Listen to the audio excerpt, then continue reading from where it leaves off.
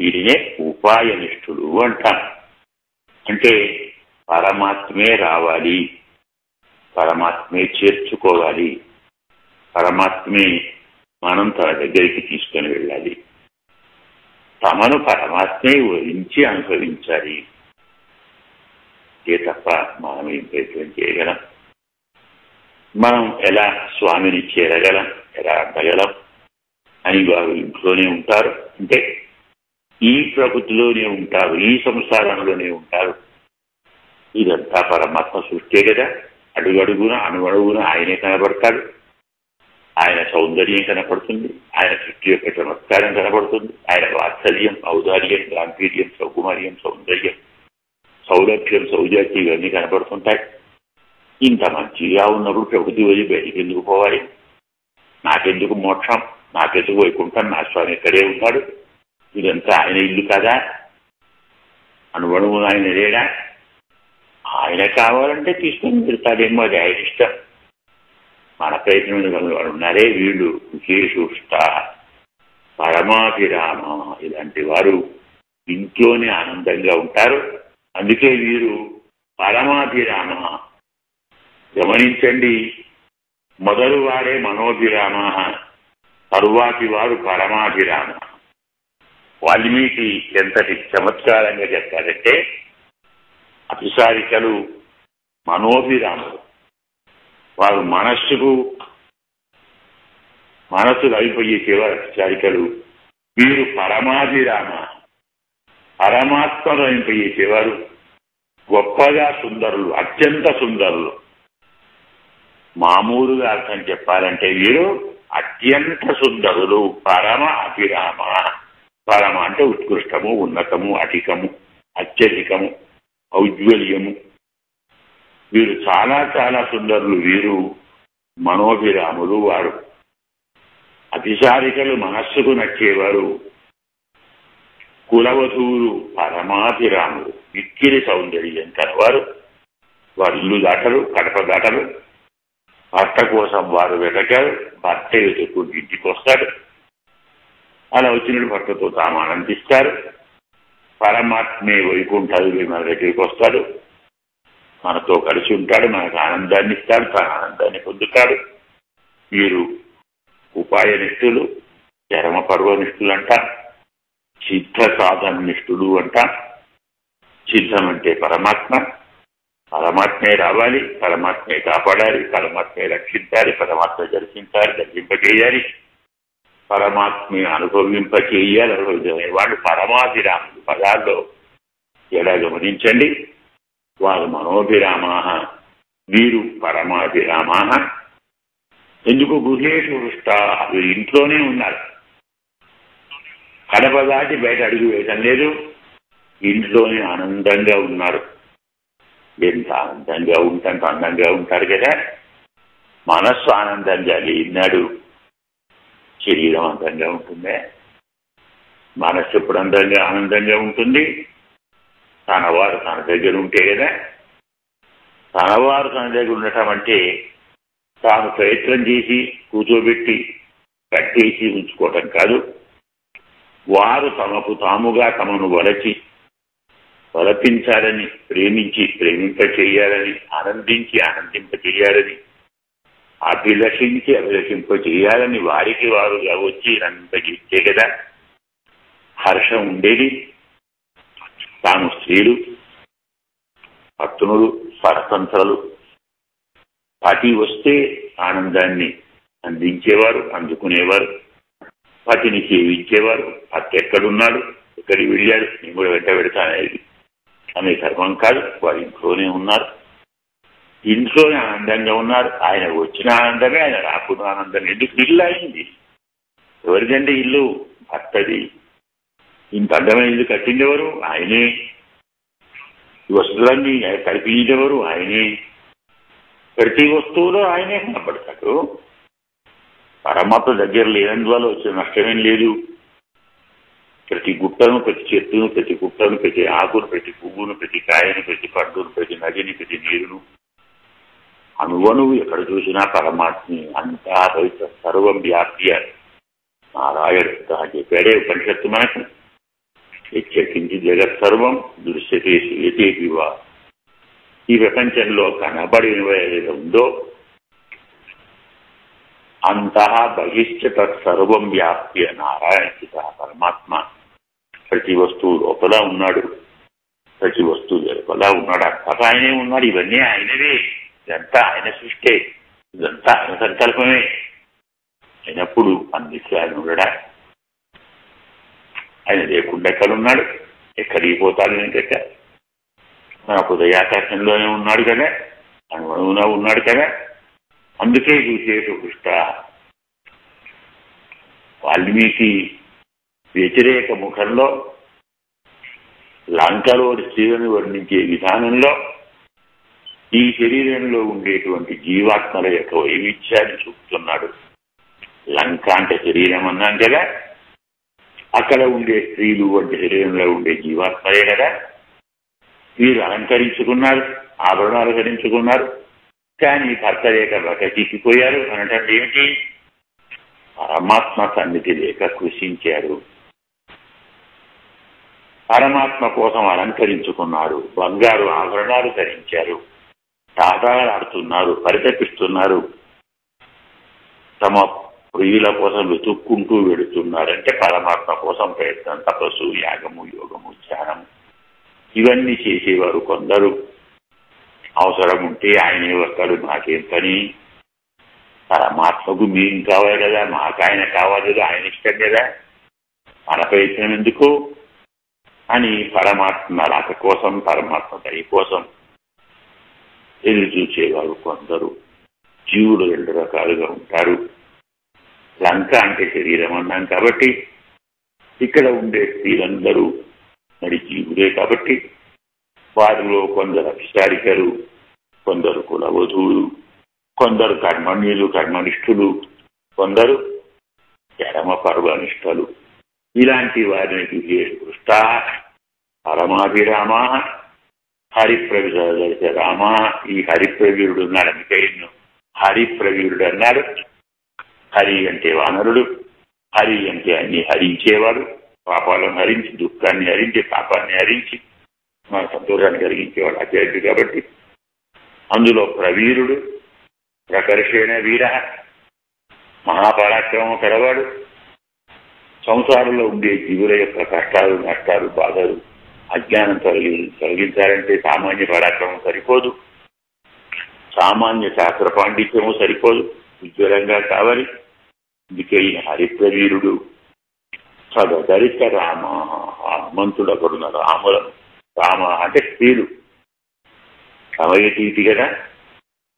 రమింపజేసేవారు ఆనందింపజేసేటువంటి చాలా మంది చూశారు చెప్పుకున్నాం కదా.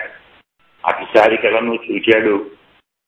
కులవధువులను చూశాడు కర్మనిష్ఠులను చూశాడు ప్రపత్తినిష్ఠులను జన్మనిష్ఠులను చూశాడు సిద్ధ సాధన నిష్ఠులు సాధ్య నిష్ఠులు.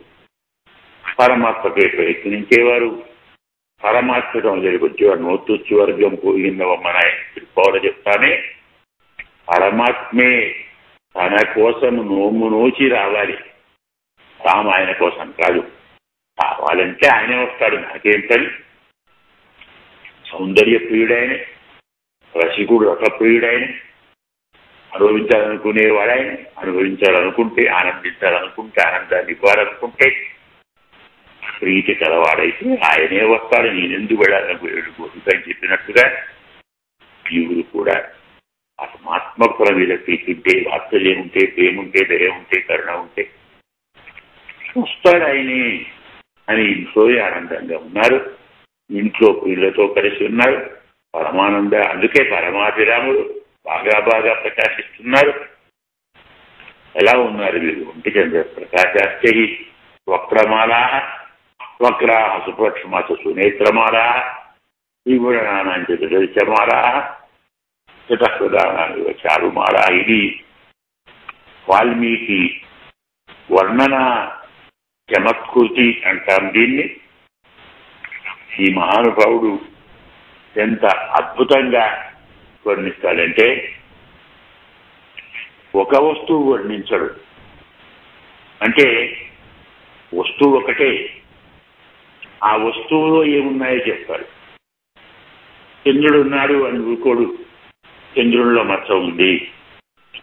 పోని మచ్చ ఉందని ఊరుకోడు ఆ మచ్చలో కుందే ఉంది. పోని కుందేలుని ఊరుకుంటాడా? ఆ కుందేలు తెల్లగా ఉంది. ఇలా ఒకదానిలో ఒకటి ఒకదానిలో ఒకటి ఒకదానిలో ఒకటి. ప్రతిదీ కలిసి ఉన్నట్టుగా వర్ణించటానికి వాల్మీకి ఎక్కువ ప్రాధాన్యాన్ని ఇస్తాడు ఒక్కదాన్ని ఎప్పుడూ వర్ణించడు. తీరు స్త్రీలు చెప్పాడు పైన భర్తలతో కూడి ఉన్న స్త్రీలు చెప్పాడు. కదా మనకు ప్రియాన్ ప్రాప్య మనోభిరామ తమ ప్రియులను పొందినటువంటి మనోభిరాముడు అలాగే వారు ప్రీతికరవారు మనస్సుకు నచ్చేవారు. పూలతో అలంకరించుకున్నవారు. ఇంట్లో ఆనందంతో ఉన్నవారు. ఇంట్లో ప్రియుల ప్రియులతో ఉన్నవారు. ఇంటిలో పరమ సౌందర్యంతో ఉన్నవారు. గమనించారా? ప్రతి చోట కలిసి ఉన్నవారు కూడి ఉన్నవారు చేరి ఉన్నవారు అంటారు. అంటే వాల్మీకి శుద్ధమైన స్వచ్ఛమైన విశిష్ట అద్వైతాన్ని చెప్పేటువంటి మహానుభావం ఒక్కదాన్ని చెప్తాడు. ఏకమేవ ద్వితీయం బ్రహ్మ పరమాత్మ ఒక్కడే. కానీ జీవాత్మ ప్రకృతులతో కలిసి ఉన్నాడు విశిష్ట అద్వైతం. అంటే కూడి ఉన్నది ఒకటే. కలిసి ఉన్న పరమాత్మ ఒక్కడే. భగవంతుడు ఒక్కడే శ్రీమన్నారాయణతే ఈ పరమాత్మ ప్రకృతితో జీవాత్మతో కూడి ఉన్నాడు కలిసి ఉన్నాడు. ప్రకృతి జీవాత్మలు కలిసి ఉన్న పరమాత్మ ఒక్కడే అనేది విశిష్ట అద్వైతం. కలిసి ఉన్నది ఒక్కటే అనుగుణమున వాల్మీకి ఈ విశిష్ట అద్వైతాన్ని చెప్తాడు. దానికి ఈ శ్లోకం చక్కని తర్కాణం చంద్ర ప్రకాశాశ్చ వక్రమాలా వక్రా సుపక్ష్మాచ సునేత్రమాలా. ఇక్కడ ఆ స్త్రీల యొక్క ముఖాలను వర్ణిస్తున్నాడు. లంకలో ఉన్న యువతుల స్త్రీల యొక్క ముఖం ఎలా ఉన్నాయి? చంద్రప్రకాశ చంద్రుడిలాగా ప్రకాశిస్తున్నాయి. ఉజ్వలంగా ఉన్నాయి. ఇవి చంద్రుడిలాగా ప్రకాశిస్తున్నాయి. ముఖాలు చంద్రుడిలాగా ప్రకాశిస్తున్నాయి. అంటే తల కాదు వక్రాహ సుపక్ష్మాశ్చ సునేత్రమాల. ఆ ముఖములు చక్కని కన్నులు కలవి. ముఖమంతా కన్నులేనట. అంటాంగగా వాడు ఒళ్ళంతా కళ్ళేని అలాగే వారి ముఖమంతా కళ్ళేనట. అంటే విశాలమైన నేత్రములు. చాలా పెద్ద నేత్రములు కామం కర్ణాంత విశ్రాంతే. విశాలే సత్యలోచని అంటాడు కాళిదాసు రఘువంశంలో. అతని నేత్రములు కర్ణాంత విశ్రాంతములు చెవి కొన దాకా వ్యాపించి ఉన్నాయంటారు. అందుకే ఒళ్ళంతా కళ్ళే అన్నట్టు ముఖమంతా కళ్ళే. చూస్తున్నాడు సురేత్రమాల ఆ కన్నులు కన్నుల వరస చూచాడు అంటే ఏమిటి చాలా మంది స్త్రీలను చూచాడు. వారి అందరి ముఖాలు చూచాడు. ముఖాలు చాలా అందంగా ఉన్నాయి. ఏనా? ఆ ముఖాలలో అందమైన కన్నులు ఉన్నాయి. అంతేనా? ఆ కన్నులకు అందమైన పక్షుమములు అంటే రెప్పలు ఉన్నాయి రెప్పలున్న కన్నులు కన్నులున్న ముఖములు. గమనించారా? కేవలం ముఖాన్ని చెప్పలేదు. కేవలం కళ్ళను చెప్పలేదు. మొదలు ముఖము అన్నాడు. ఆ ముఖం నిండా కళ్ళు ఉన్నాయి ఆ కళ్ళకు రెప్పలు ఉన్నాయి చాలా బాగున్నాయి కన్నులు చాలా బాగున్నాయి ముఖము చాలా బాగుంది యువనాన నిరోధించే మాలాహ సుధప్రదేన నిరచారి మాల ఏ కాదు వారందరి శరీరాల్లో విభూషణానం చక్కని వజ్ర వైడూర్య నీల గోమేరిక పుష్యరాగాది నవరత్న ఖచ్చితమైనటువంటి ఆభరణములు ఆభరణముల వరసను చూచాడు. ఎలా ప్రధానమివ చారుమాల. మెరుపు తీగల వరుసను చూచినట్టుగా. ఆకాశంలో మెరుపు తీగల వరస ఎలా ఉంటుందో అలాగే వీరందరినీ చూచాడు. వీరందరి ఆభరణాలను చూచాడు. వారి కనురెప్పలను చూచాడు. అవున్న కన్నులు చూచాడు అవున్న ముఖములు చూచాడు. అంటే ఏం చెప్పాడు ఏమన్నానండి ఇది? వారి ముఖాలు బాగున్నాయి వారి కన్నులు బాగున్నాయి వారి రెప్పలు బాగున్నాయి వారి ఆభరణాలు బాగున్నాయి. అంటామా? ఇంతేనా? కాదే ఇవి మాల శ్రేణులు వరుసలు. అంటే చాలా మందిని చూచాడు. కొన్ని వేల మంది లక్షల మంది. మరి వీరందరి ముఖాలను ఎందుకు చూచాడు పరిశీలనగా వీరి ఆభరణం ఎందుకు చూశాడు పరిశీలనగా మనం అప్పుడప్పుడు కథ కూడా చెప్పుకోవాలి కదా కేవలం వర్ణమే కాదు. ఇక్కడ వాల్మీకి వారి ముఖాలను వర్ణించాడు వారి కనులను వర్ణించాడు వారి కనురెప్పలు వర్ణించాడు. వారు ధరించిన ఆభరణాలను వర్ణించాడు. వాటిని జాగ్రత్తగా చూచాడని వర్ణించాడు. ఎందుకు చూచాడు అంటే హనుమంతుడు వచ్చింది దేనికోసం? పంటలో సీతమ్మను చూడాలని కదా. మరి సీతమ్మను గుర్తుపట్టాలంటే ఏంటి మార్గం? ముఖం చూడాలి కదా. ఇంత పెద్ద లంకలో రామ రామ రామ అని మాట్లాడేది పది కేజీ పది కేజీ ఎవరంటే ఒక సీతే కదా. ఇంత లంకలో విషాదంగా విచారంగా శోకంగా కారంగా ఉండేది ఎవరు? ఒక సీతే కదా. ఈ ఉన్న స్త్రీల ముఖాలలో ఏ ముఖం దైన్యంగా ఉంటే ఆమె సీత అనుకోవాలి కదా. సీతను రాముడు వర్ణించి ఉన్నాడు కదా. సీతను గుర్తించటానికి అందరి ముఖాలను జాగ్రత్తగా పరిశీలించాడు. అలాగే ఆనాడు సీత కొన్ని ఆభరణాలను ఒక చీర చెరుగులో కట్టి సుగ్రీవుడి దగ్గర విడిచింది.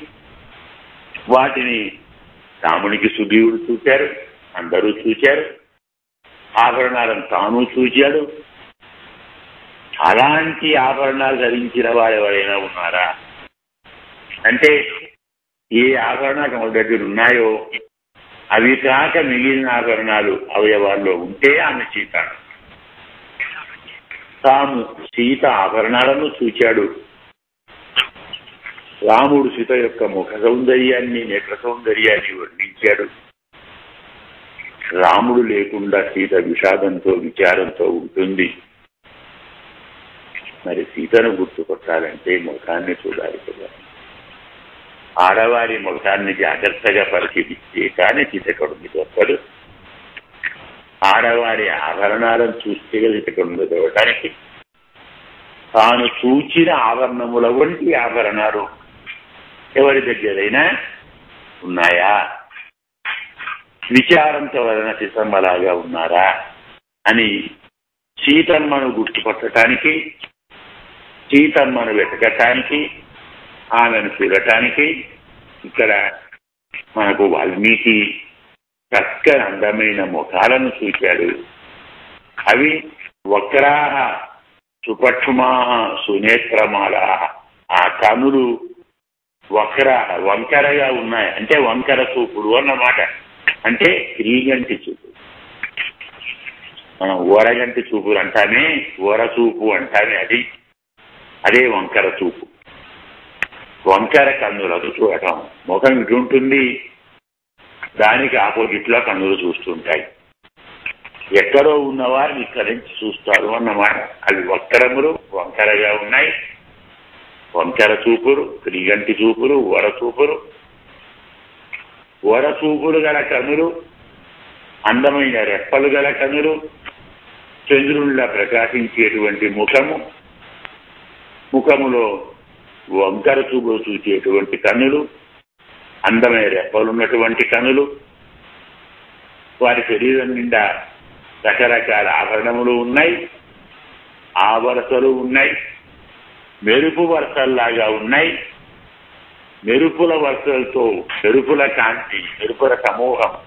అంటే వీరంతా మెరుపు తీగల్లాగా ఉన్నారు అని చెప్పటానికి చంద్ర ప్రకాశాస్తే వక్రమాలా వక్రా సుపక్షుమాశ్చ సునేత్రమాలా విభూషణానంతి దశమాలా శతక్రదానాంబివ చారుమాలా అందమైనటువంటి మెరుపు తీగల మాలలుగా ఉన్న ఆడవారి సమూహాన్ని హనుమంతుడు చూచాడు. వారి ముఖాలు అందంగా ఉన్నాయి. ముఖంలో కన్నులున్నాయి. కందులకు రెప్పలున్నాయి. వారి దేహంతో సౌందర్యంగా ఉంది ఆ శరీరంలో ఆభరణాలు ఉన్నాయి ఆభరణాలు బాగా ప్రకాశిస్తున్నాయి. ఆభరణాలకు ప్రకాశం ఆభరణాలు శరీరానికి.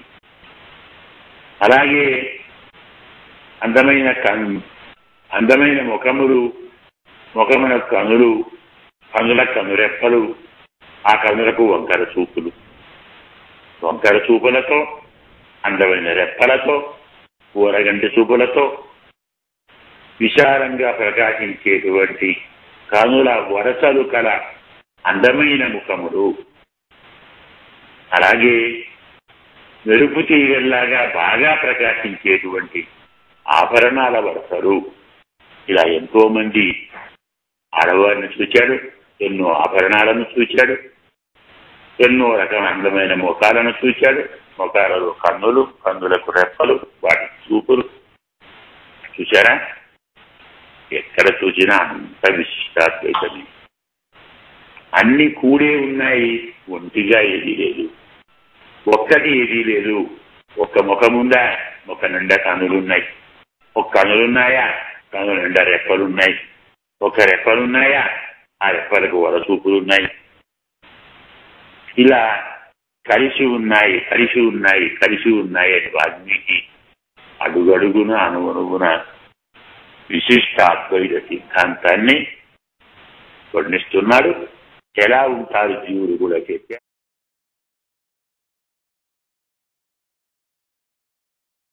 బీసీఎస్ ఛానల్ మా ఛానల్ని లైక్ చేయండి మరియు సబ్స్క్రైబ్ చేయండి. పక్కనే ఉన్న బెల్ బటన్ పై క్లిక్ చేయండి. ఈ వీడియో మీకు నచ్చితే షేర్ చేయండి. Https WWW dot YouTube dot com slash at బీసీఈస్ పంతొమ్మిది వందల ఇరవై.